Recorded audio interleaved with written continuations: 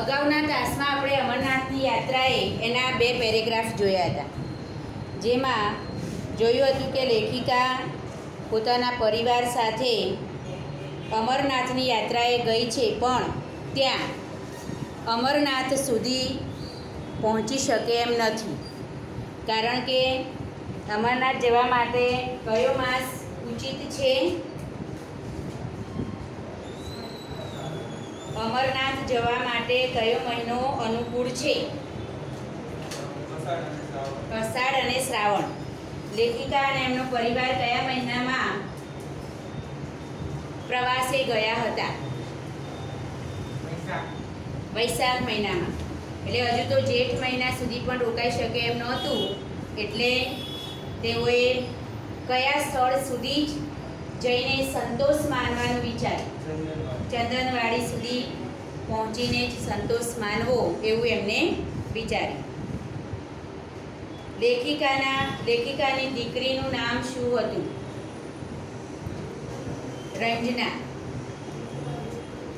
ચંદનવાડી સુધી જ જવું શક્ય સોરી અમરનાથ સુધી જવું કેમ શક્ય નહોતું? અમરનાથ સુધી જવું કેમ શક્ય નહોતું?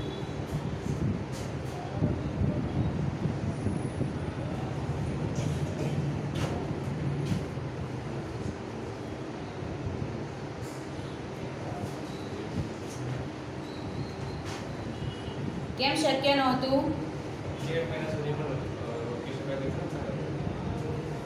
કારણ. તો હતું ને કંઈક?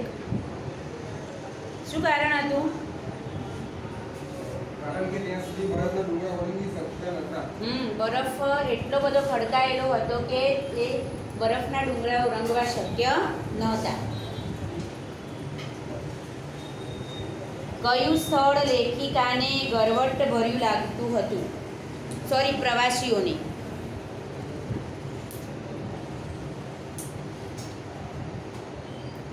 કયું સ્થળ ગરવટ ભર્યું લાગતું હતું? ચંદનવાડી. કોલાહી ગ્લેશિયરના પ્રવાસમાં છેલ્લી મજલ લેખિકાએ કેમ છોડવી પડી હતી? છેલ્લી મજલ એમને કેમ જતી કરી હતી?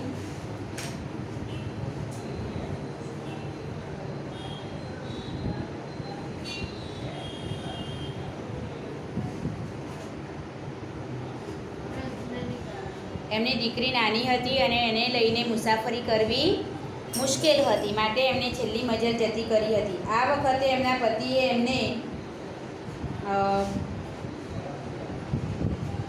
ચંદનવાડીએ જવા કહ્યું અને પોતે રંજના પાસે રહેશે એવી વાત કરી. તેમને હોટલના વ્યવસ્થાપકને પણ બપોરનું ખાણું બનાવવાની વર્દી આપી દીધી હતી. વર્દી આપી દેવી એટલે? વર્દી આપી દેવી. દીપક વર્દી આપી દેવી એટલે?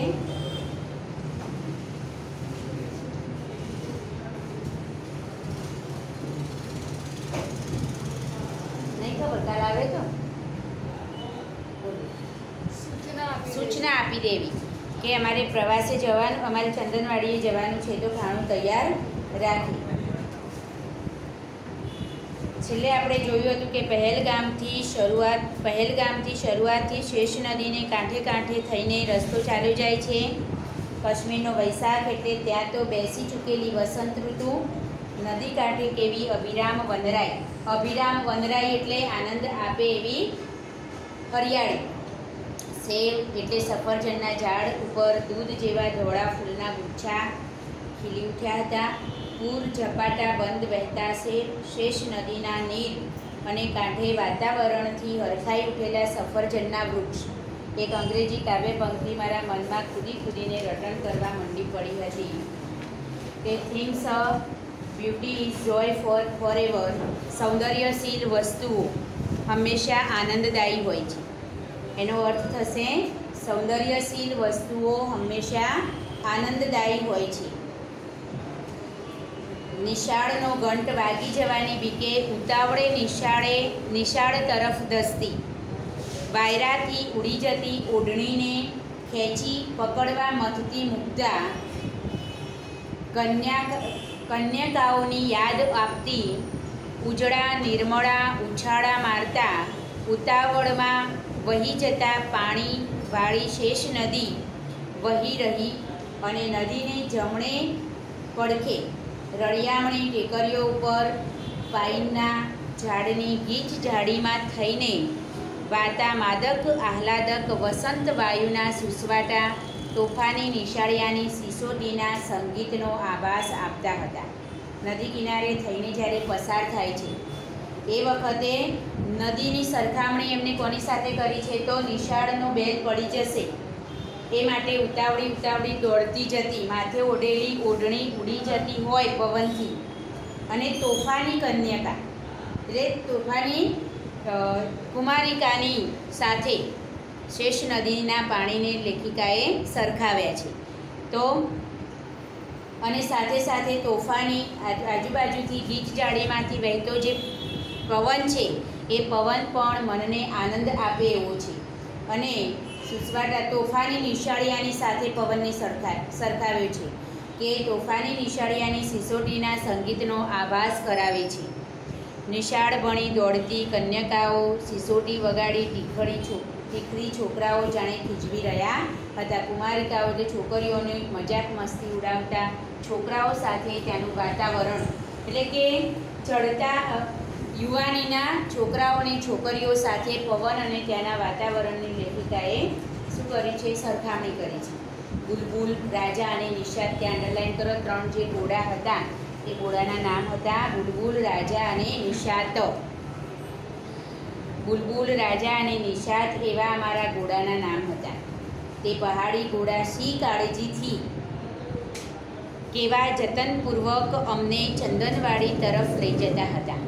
ખૂબ જ કાળજીથી ચંદનવાડી તરફ લઈ જાય. લપસણી આવતા તે સંભાળપૂર્વક પગલાં માંડી. એટલે એક તો વરસાદનું વાતાવરણ હતું. ક્યાંક પગ લપસી જાય અને પોતાના પર સવારી કરેલા સવારને નુકસાન પહોંચે નહીં એ હેતુસર ખૂબ જ સંભાળપૂર્વક પગલાં માંડતા હતા. અને સંભાળ ભર્યા પગલાં માંડી અમને ઈજા ન આવે તેમ દોડે જતા હતા. પહોળો માર્ગ આવતા ત્રણેય ઘોડા એક હરોળમાં ચાલાવી શકાતા અને વળી સાંકડી કેડી આવતી ત્યારે અમે ત્રણેય એક પાછળ એક ચાલી માર્ગ કાપતા હતા. ત્રણ જણા હતા. એમાં કોનો કોનો સમાવેશ હતો? ત્રણ કોણ કોણ ગયા હતા એ? એમના બે દીકરા અને લેખિકા. તો જ્યારે પહોળો રસ્તો આવે ત્યારે ત્રણેય ઘોડા એક સાથે ચાલતા હતા. પાછો સાંકડો રસ્તો આવે એટલે એકની પાછળ એક. એ રીતે હરોળમાં ચાલતા હતા. એક પાછળ એક ચાલી માર્ગ કાપતા હતા. ત્યાં અમારા જેવી જે માતા બે, માતા તથા બે પુત્રોની ત્રિપુટીનો ભેટો થઈ ગયો. રસ્તામાં એમને પાછા બીજા એક પરિવારનો ભેટો થયો. એમાં પણ એક માતા અને બે પુત્રો હતા. તે હતા શ્રીમતી કૃષ્ણા હઠીસિંહ તથા તેમના બે પુત્રો. તે લોકો પણ ચંદનવાડી જઈ રહ્યા હતા. સોહામણા, કાશ્મીરનો સૂર્યોદયનો તે અવિરામ સમય હતો. સૂર્યોદયનો સવારનો આનંદમય સમય હતો. હવા તાજગીથી ભરપૂર હતી અને આખી કુદરત વસંતા વાતાવરણથી ઘેરી બની આનંદમગ્ન હતી. આખી કુદરત આનંદમય વાતાવરણ હતું. અને એ વખતે અમે ત્રણેય પણ તે જ વાતાવરણથી મસ્ત બની મસ્તા ગીત ગાતા, વાતો કરતા સંસ્કૃતિ, સંસ્કૃત કવિઓના વસંત ઋતુના હિમાલયના તથા નદીઓના વર્ણનાત્મક શ્લોકોનો ઉચ્ચાર કરતા ચંદનવાડી તરફ ઘોડા દોડાવી રહ્યા હતા. ખૂબ જ રમણીય વાતાવરણ હતું. એવા વાતાવરણમાં વસંતનો પવન વહેતો હતો એટલે ખૂબ ઠંડો અને શીતળ. આપણને આનંદ આપે એવું. સાથે સાથે વાતાવરણ પણ જાણે મસ્ત બની ગયું હોય એવું લાગતું હતું. એવા ખુશનુમા વાતાવરણની અંદર ગીતો ગાતા ગાતા. સંસ્કૃતના શ્લોકોનો ઉચ્ચાર કરતાં કરતાં અને વસંત ઋતુના વર્ણનનો જે શ્લોકો હતા એનો ઉચ્ચાર કરતાં કરતાં તેઓ ચંદનવાડી તરફ જઈ રહ્યા હતા. માર્ગમાં દરેક ક્ષણે કુદરત પોતાનું સ્વરૂપ બદલતી હતી અને તેમાંથી કયું શ્રેષ્ઠ તે નક્કી કરવા અમે સાવ અસમર્થ બની જતા હતા. એટલે કુદરત અહીંયાથી આગળ જઈએ એટલે આપણને કંઈક નવું દ્રશ્ય દેખાય, એનાથી આગળ જઈએ એટલે નવું દ્રશ્ય દેખાય. તો કુદરત જે પોતાના સ્વરૂપો બદલતી હતી, એમાંથી કયું શ્રેષ્ઠ છે, એ અમે નક્કી કરી શકીએ એમ નહોતું કારણ કે એકથી એક ચડિયાતું એ વાતાવરણ, એ સૌંદર્ય અમને અમને જોવા મળતું હતું. દરેક ક્ષણે કુદરત પોતાનું સ્વરૂપ બદલી, બદલતી હતી અને તેમાંથી કયું શ્રેષ્ઠ તે નક્કી કરવા અમે સાવ અસમર્થ બની જતા હતા. એકાદ વિખ્યાત ચિત્રકારના સુંદર ચિત્રોથી ભરપૂર કોઈ ચિત્ર સંગ્રહ સ્થાનમાં જઈએ અને ત્યાં જઈ આ ચિત્ર જોયું, અરે, આ તો તેનાથી પણ વધારે સરસ. એમ આપણે એકબીજાને કહીએ તેવું જ અહીં બનતું હોય. કોઈ ચિત્રકારને મસ્ત ચિત્રો બનાવ્યા હોય, જોવા માટે જઈએ, એક જોઈએ એટલે આપણને ગમે. બીજું જોઈએ એટલે એવું થાય કે આ તો એનાથી પણ સુંદર છે. ત્રીજું જોઈએ એટલે એનાથી પણ સુંદર છે. એવું જ અહીંયા પણ થતું હતું. રસ્તે ચાલતા ઝાડ, ફૂલ અને વન પંખીઓના નામ જાણવાની તક મળતી ન હતી. પણ ખરું પૂછો તો તે નામ જાણવાની અમારી તૃપ્તિમાં ઉણપ પણ આવતી નહોતી. રસ્તામાં જતા કેટલાક ફૂલ છોડના કે ઝાડવાઓના નામ જાણવાની ઈચ્છા થતી નહોતી. કારણ કે એના સૌંદર્યથી જ મન ભરાઈ જતું હતું. કયું વૃક્ષ છે, કયો છોડ છે, એવું જાણવાની અમને કોઈ જ એમ કે મનમાં ઈચ્છા થતી નહોતી.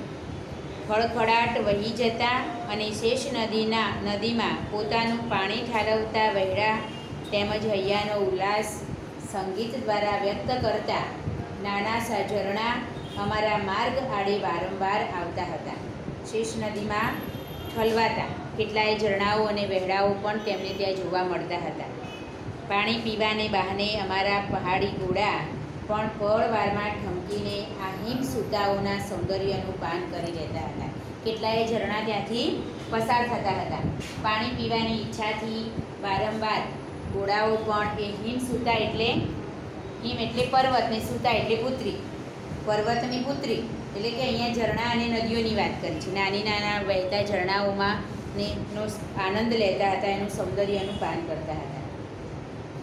આગળ જતાં અમારો માર્ગ એકદમ ઊંચાણમાં આવી ગયો અને શેષ નદી દૂર નીચે રહી ગઈ. બરફ ઉપર થઈને વારંવાર પસાર થવું પડતું હતું. બરફ અગર સુશોભિત વનરાજીથી વિરાજમાન ઊંચા નીચા શિખરો ચોપાસ નજરે પડ્યા કરતા હતા. ત્યાં અરે એકાએક આ કેવું દ્રશ્ય નજરે ચડ્યું? તાજુબ બનીને. જાણે સંકેત કરી ન મૂક્યો હોય તેમ અમે ત્રણેય એકી સામટા ઘોડા થંભાવી ઊભા રહી ગયા. ઊંચા પહાડ ઉપરથી વાંકી ચૂંકી અને સાંકડી પગદંડી ઉપરથી અમારો માર્ગ ચાલ્યો જતો હતો. નીચે ઊંડાણમાં ખડકો ઉપરથી કૂદકા મારતી. કોઈક વાર વધુ ઊંચેથી કૂદકા મારતી તો ઉતાવળે દોડતી. નાચતી, ગાતી અને હસતી. ઉન્માદિની તરંગવા, તરંગવતી શેષ નદી. જાણે મુક્તત્વ અને યૌવનની અધવચ્ચે ઉભેલી વનની મધુશ્રી જેવી ભાસતી હતી. ઉન્માદિની એટલે ખૂબ જ ગાંડી ગયેલી કે તોફાની અને તરંગવતી એટલે લહેરવાળી. નદીના પ્રવાહ માટે જુદા જુદા વિશેષણો વાપર્યા છે. મુગ્ધત્વ એટલે મોહકતા પમાડે તેવી યૌવનની અધવચ્ચે ઊભેલી વનશ્રી મધુશ્રી જેવી ભાસતી હતી. ત્યાં આ કેવું, તેનું અજબનું રૂપાંતર. એટલે અત્યાર સુધી નદીનો પ્રવાહ કેવો લાગતો હતો? ધસમસતો અને ઉછળતો, કૂદતો. પણ અત્યારે એનામાં કંઈક અજબનું રૂપાંતર આવ્યું. કેવું રૂપાંતર આવ્યું? જો અમારે જમણે હાથે માઇલો સુધી ઘણું વિસ્તૃત એવું તદ્દન સપાટ લીલુંછમ મેદાન હતું.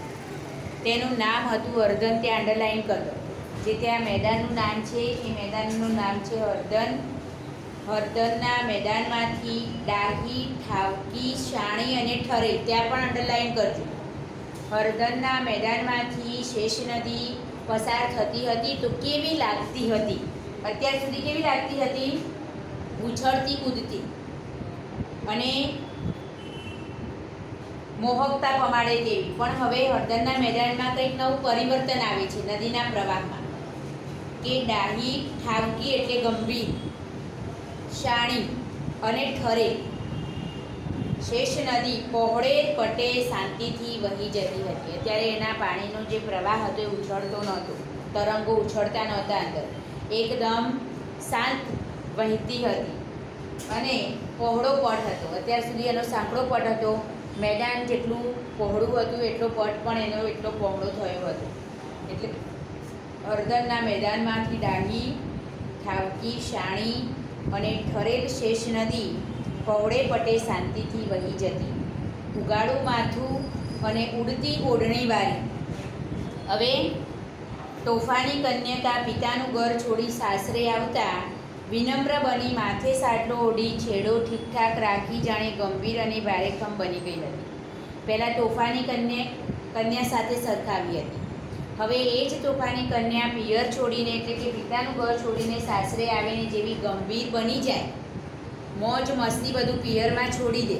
અને સાસરી આવીને શાણપણ આવી જાય એનામાં ને ડાહી થઈ જાય, શાંત થઈ જાય, એવી રીતે હળદરના મેદાનમાં નદી પણ શાંત થઈ ગઈ હતી. વિનમ્ર બની, માથે સાડલો ઓઢી, છેડો ઠીકઠાક રાખી, જાણે ગંભીર અને ભારેખમ બની ગઈ હતી. નદીની કાંઠે અસંખ્ય ફૂલ ખીલી ઉઠ્યા હતા. તે સ્થળેથી ખસવાનું અમને મન થતું નહોતું. કેમેરાથી તસવીર ખેંચી એ અજોડ સૌંદર્યને કચક, કચકડાની ફિલ્મ ઉપર જકડી લેવાનો મિથ્યા પ્રયાસ કરવામાં મારો સુકુમાર તથા જગદીપ, ત્યાં અંડરલાઈન કરો. એમના પુત્રોના નામ છે. સુકુમાર અને જગદીપ. તો સુકુમાર તથા જગદીપ ગુંથાયા હરદનના તે મેદાન ઉપર તંબુઓ તાણીને વસવાટ કરવાની શક્યતા વિશે અમે ખૂબ હવાઈ કિલ્લા બાંધ્યા. હવાઈ કિલ્લા બાંધવા એટલે સપના સેવા કે આમ કરવું તેમ કરવું, મોટી મોટી વાતો કરવી. તો હળદરના મેદાનમાં અહીંયા આપણે રહેવાનું, રહેઠાણ બનાવ્યું હોય તો કેટલો આનંદ આવ્યો? એમ. તો તંબુઓ તાણીને વસવાટ કરવાની શક્યતા વિશે અમે ખૂબ હવાઈ કિલ્લા બાંધ્યા. અમારા પાંચમાંથી બે જણને આ અલૌકિક શોભા ભર્યું દ્રશ્ય જોવાનું રહી ગયું, તેથી અમે ત્રણે ઘણું જીવ પાડ્યું પાંચ જણામાંથી બે જણને દ્રશ્ય જોવાનું રહી ગયું. કોને? એમની દીકરી અને એમના પતિને. તો એનો અમને એમ કે અફસોસ થયો. તેથી અમે ત્રણેય ગણો જીવ બાળ્યો. દુઃખની માફક, સુખનો અતિરેક સહન કરવા માટે પણ સ્નિગ્ધ જનની ભાગ, ભાગીદારીની જરૂર પડે છે. અંગુલીના સ્પર્શ વડે કોઈ આપણને ઊંઘમાંથી જગાડે તેમ વરસાદના ફોરાએ હળદરના મેદાનની શોભા નિહાળવામાં તલ્લીન બનેલા અમને જાગૃત કર્યા. આપણે કોઈ દ્રશ્ય જોવામાં, કોઈ ફિલ્મ જોવામાં, કોઈ મિત્રો સાથે વાતો કરવામાં મગ્ન બની ગયા હોય અને અચાનક પરિસ્થિતિમાં પરિવર્તન આવે એવી રીતે અહીંયા પણ આટલું સૌંદર્ય નિહાળવામાં મસ્ત બનેલા લેખિકા અને એમના દીકરાઓના વિચારોને બદલાવ, વિચારોને બદલવા વરસાદના ફોરાએ આગમન કર્યું. એટલે વરસાદ શરૂ થયો. ઊંઘમાંથી કોઈએ જગાડ્યા હોય એવો અનુભવ થાય. તમે વરસાદના ફોરાએ હળદરના મેદાનની શોભા નિહાળવામાં તલ્લીન બનેલા અમને જાગૃત કર્યા અને ઝરમરતા વરસાદને જીતતા અમે ચંદનવાડી ભણી ઉતાવળે જવા ઘોડાની એડી મારી. એડી મારવી એટલે ઘોડાને દોડાવવા એડી લગાવી. તો શબ્દોના અર્થ લખી લો.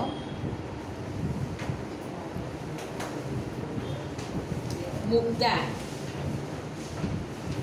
મુગ્ધા એટલે જેની જવાની હમણાં જ ફૂટી હોય તેવી સ્ત્રી જેની જવાની ફૂટી હોય તેવી સ્ત્રી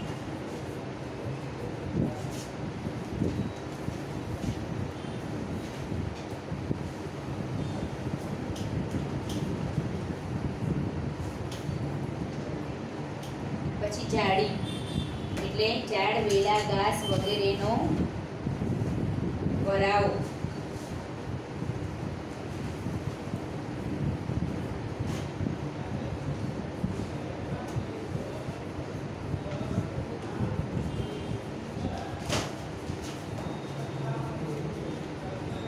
પંચક હોય ને એને.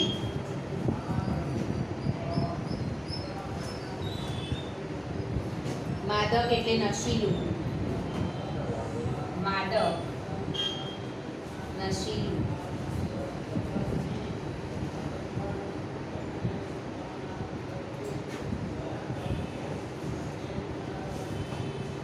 આભાસ આપવો એટલે ભ્રાંતિ કરાવવી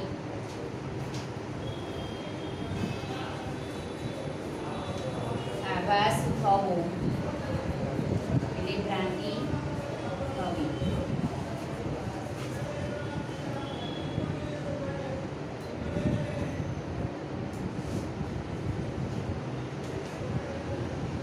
ઉન્માદિની એટલે ગાંડી ગેરી તોફાની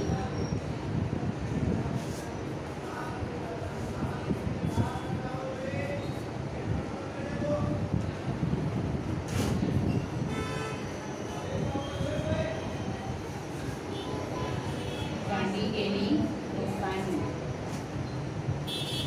તરંગવતી એટલે લહેરવાળી તરંગવતી એટલે લહેરવાળી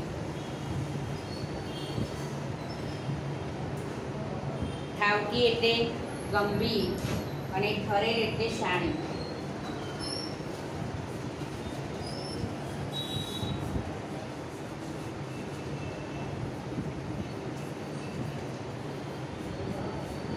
શાણી એટલે ડાહી. મુક્તત્વ તો મોહકતા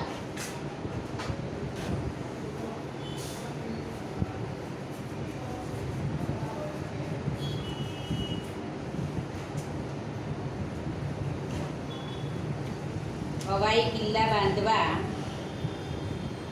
એટલે મોટી મોટી વાતો કરવી કલ્પના દોડાવવી હવાઈ કિલ્લા બાંધવા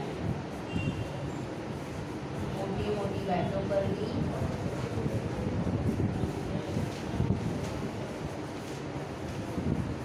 કલ્પના દોડાવવી કલ્પના દોડાવવી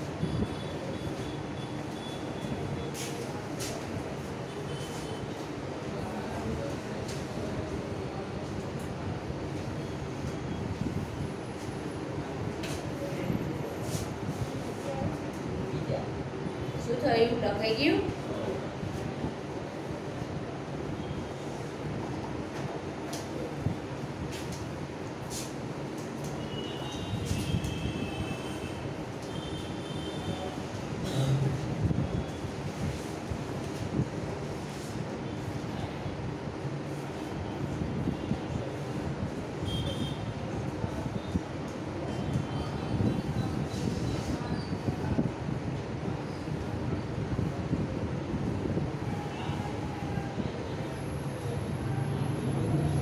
અમરનાથ યાત્રા કયા સમયમાં સરળ પડે અમરનાથ યાત્રા કયા સમયમાં સરળ પડે.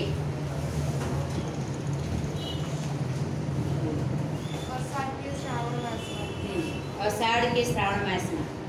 અમરનાથ યાત્રામાં શેનો અવરોધ વિઘ્નરૂપ છે? શેનો અવરોધ વિઘ્નરૂપ છે?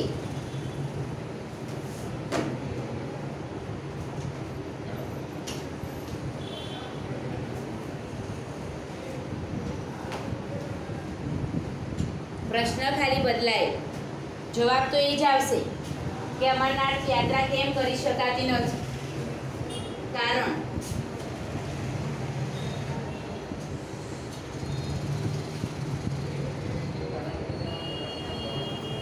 બરફના પર્વતો ખડકાયેલા હોય છે, તેથી તો બરફના ડુંગરા ઓળંગવા મુશ્કેલ હતા એ વિઘ્નરૂપ છે. બરાબર? અવરોધ.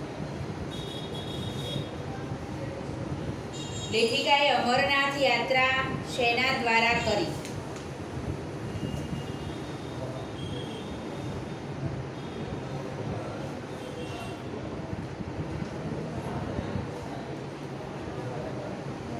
શેના દ્વારા કરી?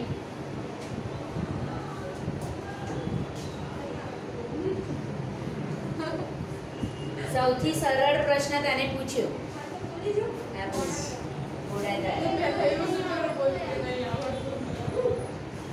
કાશ્મીરમાં કયા કયા મનોહર સ્થળો જોવાલાયક છે? કાશ્મીરમાં કયા કયા મનોરથ સ્થળો જોવાલાયક છે?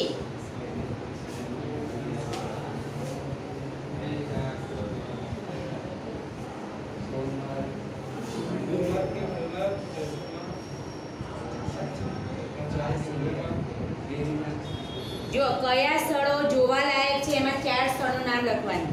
વેરીનાગ સોનમર્ગ, ટુલિયન ટુલિયન તળાવ, ત્રણનું નામ લખવાનું. વેરીનાગ પછી સોનમર્ગ અને ટુલિયન તળાવ. અને જે પેલા સ્થળો છે એ કયા પારકા લાગે છે? એમાં તખ્તે શાહી ને એ બધા છે ને, ખિલમર્ગ ને ગુલમર્ગ ને ચશ્મેશાહી એ બધા પારકા લાગે છે, એમાં જવાબ લખવાનો. બરાબર? આજે જેટલું આપણે પાઠ જોયું ને, ત્યાં સુધીમાં તમને જેવા ફાવે એવા પ્રશ્નો તમારે બનાવવા જેટલા હેતુલક્ષી પ્રશ્નો વધારે બનાવશો એટલો પાઠ વધારે સમજાશે. પછી સવિસ્તાર પ્રશ્ન જરૂર નહીં પડે તૈયાર કરવાની.